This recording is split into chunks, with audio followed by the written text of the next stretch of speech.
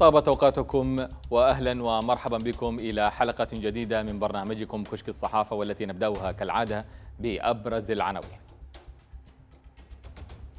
من موقع الموقع بوست مواطن في تعز يبيع سيارته لإيقاد شعلة السادس والعشرين من سبتمبر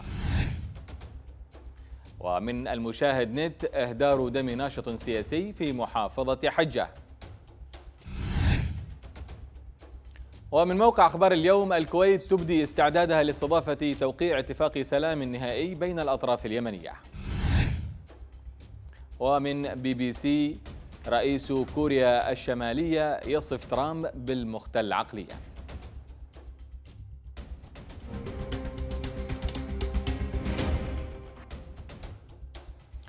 أهلا بكم. والبداية من موقع الموقع بوست يتحدث عن مواطن في تعز لجأ إلى بيع سيارته لغرض الاحتفال بالعيد السادس والعشرين من سبتمبر وعنون الموقع. مارش يباع سيارته لتجهيز الشعلة. استعدادات خاصة في تعز بذكرى ثورة السادس والعشرين من سبتمبر. وقال الموقع أن ناشطين ومثقفين في مدينة تعز استعدون لإحياء الذكرى الخامسة والخمسين لثورة سبتمبر بأسلوبهم الخاص وجهودهم الفردية للتأكيد على أهمية الاحتفاء بهذا اليوم. ولجأ الناشط الإعلامي محمد مارش لبيع سيارته لتوفير تكاليف إيقاد الشعلة في تعز بالإضافة إلى أنشطة أخرى مترافقة مع ذكرى الثورة وبيعت السيارة عبر المزاد بمبلغ مليون ومئتين وخمسمائة ألف ريال. وقال الموقع أن الجزء الأكبر من المبلغ سيخصص لحفل إيقاد الشعلة والتي توقد سنويا للتأكيد على استمرار الثورة والجمهورية. وقال مارش للموقع بوست إن لجوءه لبيع سيارته كانت مبادرة شخصية منه لتحريك وللاحتفال بثورة سبتمبر التي يفصلنا عنها أيام قليلة إضافة لحث السلطات المحلية في تعز على التحرك وإحياء هذه الفعالية. كشف محافظ عدن الأستاذ عبد العزيز المفلحي عن الأسباب التي تقف خلف عدم عودته إلى مدينة عدن منذ مغادرته لها قبل أكثر من شهر ونصف وقال المفلحي في تصريحات لصحيفة عدن الغد. إنه غادر العاصمة السعودية الرياض في طريقه إلى الجمهورية أو إلى جمهورية مصر العربية للعلاج موضحا أنه سيعود من مصر إلى عدن خلال الأسابيع القادمة عقب الانتهاء من رحلة العلاج هذه. وأكد المفلحي أن مصاعب جمة باتت تواجه إدارته لكن قال إنه يجب التغلب عليها بتعاون الجميع. وقال المفلحي في تصريحه إن عدن بحاجة إلى أكثر إن أن عدن بحاجة إلي أكثر من أي وقت مضى إلى تكثيف الجهود أيضا لأجل خدمتها. من المحيط إلى الخليج تعاني منطقتنا حالة لا سلام ويتعرض الناس لمثل تلك الحرب حرب المستبدين على شعوبهم بنسب متفاوتة لكن لا يسلم منها أحد. هذا مقتطف من مقال كتبته الحائزة على جائزة نوبل للسلام توكل الكرمان مضيفة في المقال المنشور على موقع قناة بلقيس. يتوجب التأكيد على ضرورة عدم اتخاذ العنف سبيلا لمقاومة الاستبداد. العنف عواقبه وخيمة ونتائجه مدمرة. لكن ما يجب قوله بشجاعة ودون تردد إن ما نشهده من حروب ومظالم ليس سببه تطلعات أو ثورات الشعوب التي تريد الحرية والديمقراطية. ولكن السبب هو هذا الاستبداد الذي يريد استعباد الناس وإذلالهم. علينا ألا نفشل في توصيف ما يحدث فننحرف إلى القول إن الثورات والمظاهرات والاعتصامات جرم ارتكبه المكافحون في سبيل الحرية والمناضلون من أجل مناهضة الظلم والدفاع عن حقوق الإنسان فنخذل الناس مرتين. مرة حين تركناهم دون أن نفعل شيئا لتخفيف وطأة حرب المستبدين على شعوبهم. ومرة حين اعتبرناهم جناة وليس ضحايا. باعتقادي أن الكفاح ضد الظلم والقمع هو كفاح من أجل السلام. إننا نبني سلاما عظيما حين يتوقف الظلم ويختفي القمع. فتشوا لتجدوا أن كل حرب داخلية أو خارجية وراءها مستبد قهر شعبه ثم مضى ليزاول هوايته في البطش خارج الحدود. الناس بحاجة لخارطة كفاح تبني سلاما مستداما عبر تحقيق العدالة التي لا تأتي دون إنجاز حق تمتع المواطنين بالحقوق والحريات الأساسية. إننا نحرز سلاما عظيما حين ننتقل بالمجتمعات من جحيم الاستبداد إلى آفاق الحرية وحقوق الإنسان. موقع المشاهد نت يعنون في صفحته الرئيسية. إهدار دم ناشط سياسي في محافظة حجة. وقال الموقع أن جماعة الحوثي أجبرت وجهاء في محافظة حجة على توقيع وثيقة تهدر دم. أحد الناشطين في صفحات التواصل الاجتماعي بسبب نقده الساخر للجماعة. وقالت مصادر بمحافظة حجة أن الناشط يدعى إبراهيم علي آه، حزام القيدلة وهو ينتقد بشدة ممارسات جماعة الحوثي ما دفعها لإجبارها أو لإجبار وجهاء قبليين على توقيع وثيقة أهدرت فيها دمه وكانت جماعة الحوثي أقدمت في وقت سابق على إهدار دم معارضين لها بإصدار فتاوى دينية عن طريق مشايخ موالين لها. وفي الجانب السياسي يعلق موقع يمن مونيتور. الأمم المتحدة تعرض أو تعرض أربع نقاط على الأطراف باليمن بهدف الوصول إلى حل شامل. وقال المبعوث الأممي لليمن إسماعيل ولد الشيخ أحمد إن هناك أربع نقاط طرحتها الأمم المتحدة يجب أن تراجعها مختلف أطراف الصراع في البلاد من أجل التوصل إلى حل نهائي وشامل. وأضافت وأضاف المبعوث أنه بالرغم من كون الأزمة في اليمن إنسانية إلا أنه لا يمكن أو إلى أنه لا يمكن حل الأزمة في اليمن إلا من خلال الحل السياسي وليس هناك حل عسكري. وأكد ولد الشيخ أحمد على دعوة الأطراف إلى أن تراجع الحل السياسي الذي عرضته الأمم المتحدة والذي يتطرق إلى ميناء الحديدة فتح مطار صنعاء ودفع الرواتب للموظفين والعودة إلى لجنة التهدئة والتنسيق من أجل الوصول إلى الحل الشامل والكامل في البلاد. لا حرب نظيفة فالحرب تجعل الأرض تميد تحتك. تدفعك للهروب من موت يكاد يكون محققا. هكذا بدأ سمير الزبن مقاله المنشور في صحيفة الحياة اللندنية مضيفا. في المنفى تميد الأرض بك أكثر وفي ظل هذا الاهتزاز المزدوج مطلوب منك أن تجد توازنك في حالة مضطربة. هل من سؤال أكثر جنونا من سؤال التوازن على أرض تهتز تحتك طوال الوقت؟ حتى لو كنت بارعا ونجحت في ذلك لا شك في أن المهمة ستكون ذات طابع بهلواني وهكذا هي حياة الهاربين من الحروب في المنافي تتفاوت بين تطرف مأساوي وتطرف ساخر. يحمل اللاجئون الناجون من الحرب أوزارها معهم بعد العيش سنوات في ظل تهديد الموت.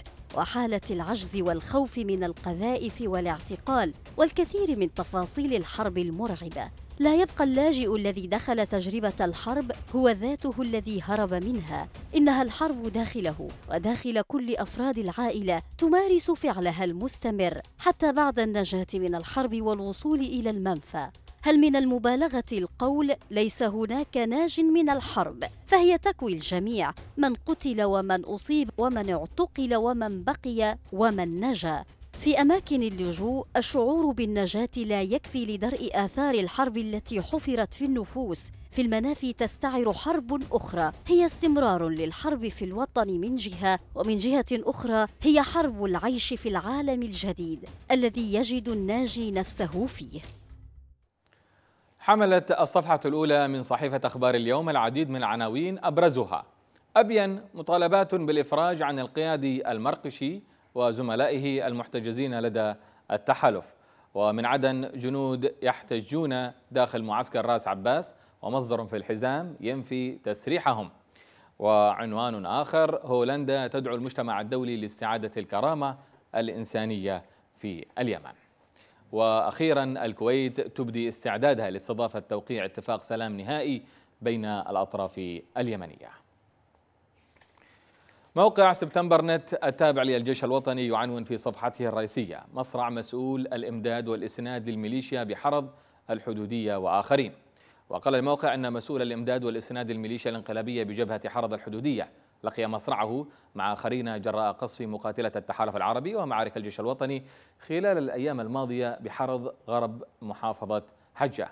وأكدت مصادر طبية لسبتمبر نت أن مسؤول الإمداد والإسناد للميليشيا ويدعى أبو أمجد الجبري قتل إلى جانب 23 آخرين خلال الأيام الماضية. وأنه تم نقل جثمانهم إلى مبنى قيد الإنشاء بمديرية حيران المحاذية لمديرية حرض قبل أن يتم توزيعهم على قراهم ويتابع الموقع تمكن الجيش الوطني وبإسناد من مقاتلة التحالف العربي من تحرير مواقع جديدة في جبهة حرض الحدودية. وهنا ولقراءة أهم ما ورد في صفحات الصحف العربية نذهب إلى فاصل قصير. قوم معنا.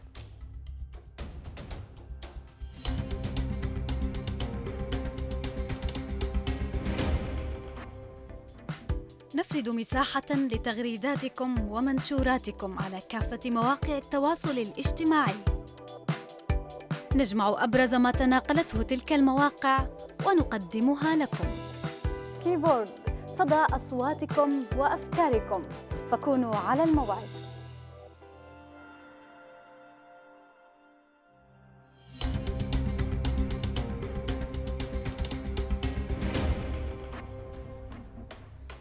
أهلا بكم من جديد.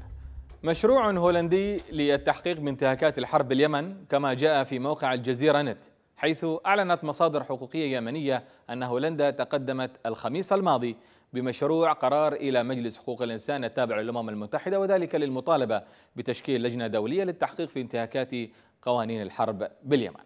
وأضافت المصادر ذاتها أنه من المقرر أن يتم التصويت على مشروع القرار الأربعاء المقبل وسط انقسام دولي حاد بين الدول الكبرى بهذا الشأن. وإلى جانب كندا والصين تقود هولندا التحرك الدولي الداعي إلى تشكيل لجنة دولية. في حين تعارضها الولايات المتحدة وفرنسا وبريطانيا بجانب المجموعة العربية التي تتزعمها السعودية وتضم الإمارات ومصر والسودان. ولا يعرف ما إذا كانت هولندا ستتمسك بمشروع القرار حتى موعد التصويت أم لا. حيث سبق لها أن سحبت مشروع قرار مماثل خلال العامين الماضيين. أما صحيفة الخليج فقد عنونت في أحد الأخبار المتعلقة باليمن جهود لإنقاذ الصحفيين في اليمن من الانتهاكات. وقالت الصحيفة أن الاتحاد الدولي للصحفيين رحب بالتقرير الصادر عن المفوض السامي لحقوق الإنسان الذي يدين الانتهاكات المتزايدة بحق الصحفيين في اليمن. ويشير التقرير الذي أصدرته المفوضية السامية لحقوق الإنسان إلى أنه منذ بداية النزاع شنت سلطة الانقلاب في صنعاء حملة قمع ضد الصحفيين والناشطين وغيرهم من أعضاء المجتمع المدني. هذه القيود وفقا لتقرير جاءت من خلال فرض قيود على حرية التعبير والتخويف والاعتقالات التعسفية خارج إطار القانون والإخفاء القسري والقتل. عزمي عاشور كتب مقالا في صحيفة الحياة تحت عنوان هل تتحقق العدالة بالحرية؟ وقال في جزء منه. العدالة كنظرية تأخذ صورا مختلفة بحسب طبيعة الحقل الذي يمكن النظر إليها من خلاله. فهي في العلوم السياسية تتجلى في الديمقراطية بكونها حتى الآن هي أفضل السبل لتحقيق أكبر المنافع لصالح المجموعة وليس لصالح فرد أو فئة. وبالنسبة إلى الاقتصاد تكثر الاجتهادات والنظريات وكل منها حاول أن يصل إليها سواء عبر الاشتراكية أو الرأسمالية. ففي الأولى هناك انتصار لقيمة المساواة إلا أنها تحمل جورا على العدالة ككل لأنها ساوت بين من يعمل ومن لا يعمل. أما بالنسبة إلى المذهب الرأسمالي فإنها كانت أقرب إلى العدالة غير أنها أهملت قيمة المساواة. في مجتمعاتنا العربية ما زلنا عاجزين عن اختيار الطريق الذي ينبغي أن نسلكه. هل نأخذ المسار الاشتراكي الذي إن حقق مبدأ المساواة؟ فإنه في المقابل يقتل الحافز ويميت المجتمع. وإن تم الأخذ بالمذهب الرأسمالي بشكله المطلق فهناك فئات كثيرة قد تذهب ضحية لظلم الظروف التي نشأت فيها. ومن هنا من الممكن الجمع بين مبدئي الحرية والمساواة للاقتراب من أفضل نقطة على خط العدالة. وفي متابعة لآخر تطورات الأزمة الكورية نقلت شبكة البي بي سي تصريحا لزعيم كوريا الشمالية قال فيه ترامب المختل عقليا أقنعني بالحاجة إلى البرنامج النووي. وفي بيان بثته وسائل الإعلام الحكومية أضاف كيم أن ترامب سيدفع ثمنا غاليا بسبب خطابه الأخير الذي ألقاه في الأمم المتحدة حيث قال ترامب في خطاب ألقاه أمام الجمعية العامة للأمم المتحدة إن واشنطن إن أرغمت على الدفاع عن نفسها فإنها ستدمر كليا كوريا الشمالية مضيفا أن كيم في مهمة انتحارية. هذا وكانت كوريا قد أجبرت اختبار أو أجرت اختبارات صاروخية بوتيرة غير مسبوقة وأجرت الاختبار النووي السادس بالرغم من الإدانة الدولية. وفي وقت سابق شب شبه وزير الخارجية كوريا الشمالية رينغ وانغ هو وشبه شبه خطاب ترامب بأنه صوت كلب ينبح. وفي ذات الموضوع الذي يشغل حيزا كبيرا من اهتمامات الإعلام يعنون موقع الهاف بوست عربي أقوى بأربعة ألاف مرة من قبل من قنبلة هيروشيما. وتعرف وتعرف على القنبلة الهيدروجينية التي يهدد الزعيم الكوري بتجربتها خارج أراضيه. الموقع قال أن القنبلة الهيدروجينية أو النووية الحرارية التي تهدد كوريا الشمالية بتجربتها خارج أراضيها أقوى بكثير من القنبلة الذرية على غرار تلك التي ألقيت عام 1945 فوق هوريشيما وتقوم القنبلة الهيدروجينية على مبدأ الانصهار النووي وتطلق أو تطلق طاقة هائلة تفوق مستوى الحرارة والضغط داخل الشمس. وعندما تنفجر قنبلة هيدروجينية فإن انفجارات كيميائية ونووية ونووية حرارية تتوالى خلال وقت ضئيل جدا. ومن صور صحيفة الديلي تلغراف البريطانية ستكون جولتنا المصورة لهذا اليوم وقد احتوت الكثير من الأحداث والمناظر المختلفة حول العالم. نتابع الصور.